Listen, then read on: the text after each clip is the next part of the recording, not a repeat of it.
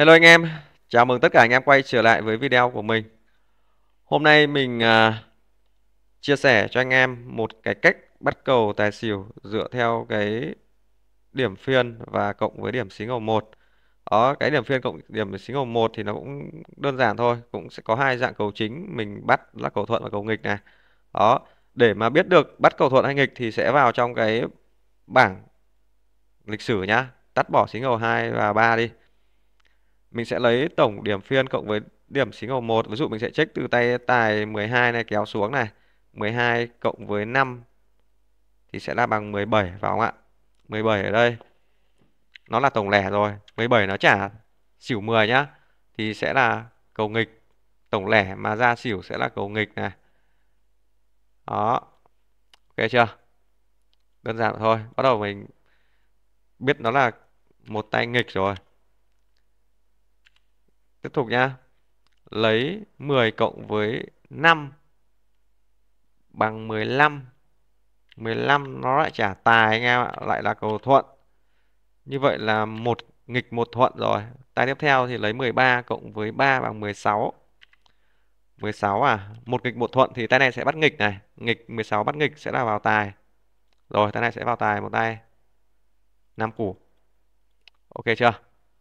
Đó, anh em thấy là nó đang đi kiểu là một nghịch một thuận thì mình sẽ bắt theo kiểu một một luôn. Tay này bắt cầu nghịch, tổng chẵn sẽ là vào tài. Đó nên là mình sẽ vào tài tay này năm củ. Ok nhá, để xem tay đầu tiên liệu có chuẩn được hay không. Anh em cùng chờ kết quả. Rồi, húp tay đầu tiên này, anh em thấy không? Quá là ổn áp luôn phải không ạ? Như vậy là 16 trả tài này, cầu nghịch Bây giờ bạn sẽ là bắt cầu thuận. Đó, mình bắt một thuận một nghịch mà. Rồi để check xem nào nhá. 13 cộng với 6 này bằng 19. 13 cộng 6 bằng 19. 19 đây là tổng lẻ. Tổng lẻ.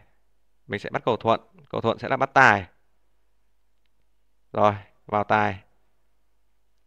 5 củ tiếp. Cầu thuận sẽ là vào tài. Đó, tổng cầu thuận tổng lẻ vào tài này. Đó. Nếu như nó là tổng chẵn thì sẽ là vào xỉu phải không ạ? Nếu mà cầu thuận là như vậy. Và mình đang bắt theo kiểu là một nghịch một thuận. Anh em thấy này nghịch này thuận này nghịch này thì tay này bắt thuận là hợp lý. Nói chung là đây cũng chỉ là một cái mẹo chơi bình thường thôi cũng không phải là công thức nào nó ghê gớm quá đâu.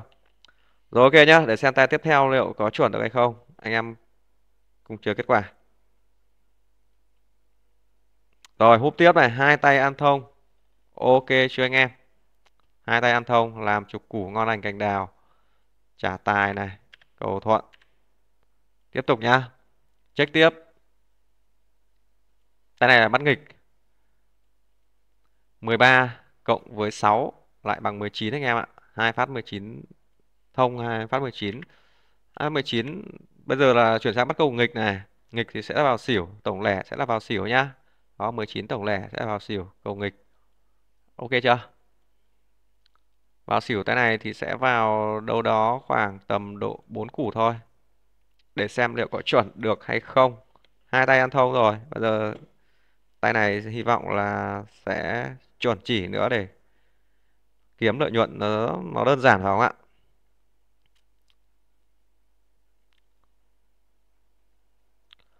Rồi ok nhá, để xem tay uh, tiếp theo liệu có chuẩn được hay không mở bát đây là biết ngay. Chuẩn. Quá chuẩn luôn anh em ạ. Ok chưa? Một cái công thức rất là hay luôn. Mình áp dụng khá là nhiều rồi. Anh em có thể là áp dụng trên tất cả các cái con game khác nhau. Rồi, check tiếp này. Bây giờ lại bắt cầu nghịch nhá. Đang đi một thuận một nghịch rất là đẹp luôn đấy. Lấy 6 cộng với 3 bằng 9 này. 6 cộng 3 bằng 9 9 tổng lẻ này tổng lẻ bắt thuận sẽ là vào tài. Đó. Tổng lẻ bắt thuận sẽ là vào tài nhá.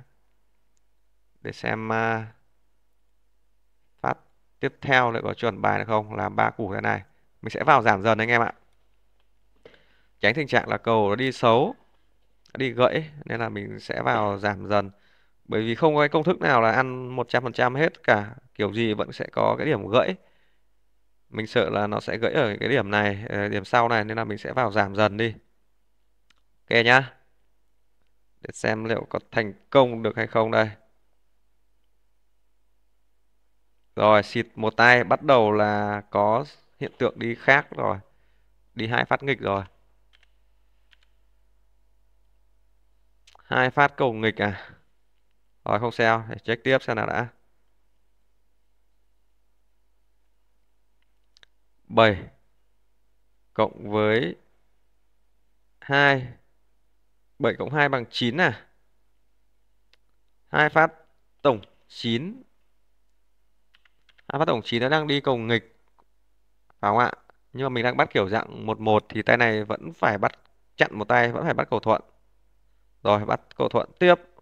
Tay này làm 5 củ, tài. Ok nhá, tiếp tục bắt bắt cái cái dạng cầu cầu ngắn đấy. Để xem có chuẩn được hay là không đây. Cùng chờ kết quả là rõ ngay. Rồi, ok nhá. Mở bát lên là sẽ biết được là thắng hay thua phải không ạ? Rồi, như vậy là húp tay này. Ok chưa? Nó vẫn chưa bệt được cái cầu nghịch anh em ạ. Vẫn là cầu ngắn thôi, ra tài này, cầu thuận. Để mà bắt tiếp thì tay này sẽ bắt bắt nghịch. Check xem nào nhá. Check thử xem nào.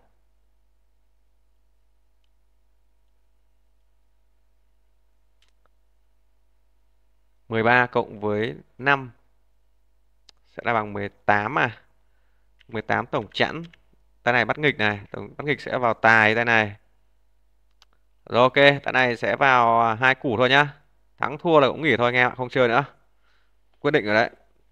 Công thức nào vậy thôi, vẫn có điểm gãy nếu như mà chơi không có điểm dừng á, thì rất khó để mà tồn tại được. Nên là mình sẽ chiến tay này, tay cuối này, thắng thua mình cũng nghỉ luôn. Rồi để xem kết quả thế nào đã, anh em cùng chờ nhá. Rồi, như vậy là xịt rồi anh em. Ờ, không sao cả. Thắng thua mình cũng nghỉ mà. Ok. Lãi được khoảng 13 mét là cũng cũng ổn rồi ra xỉu này, cầu thuận. Như vậy đi cầu 22 rồi này, hai thuận, hai nghịch này anh em ạ. Ok nhá.